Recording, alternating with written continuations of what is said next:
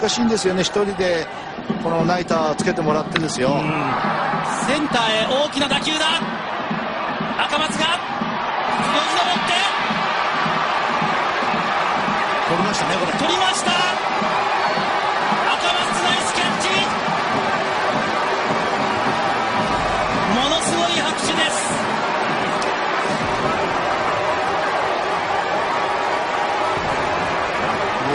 これは超ファインプレーですよ、石原さん。えこれはね、山本義彦から金一封ですよ。はい。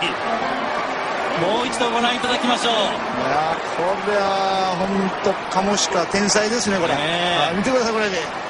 うわーこれチンプレー好プレーやったら好プレー賞間違いないですね。間違いないですね、えーこれはもあのよくメジャーでねあのイチローが見せますけれどうも、えーこれ野球選手じゃなかったらオリンピックの選手になれてますねこれ。